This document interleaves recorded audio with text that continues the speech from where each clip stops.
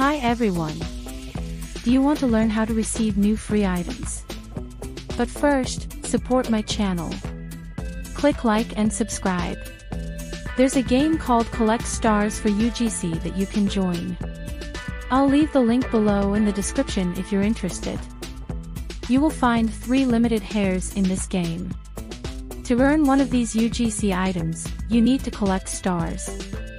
If you want to get a cute punk low pigtails with buns, you need to collect 15,000 stars.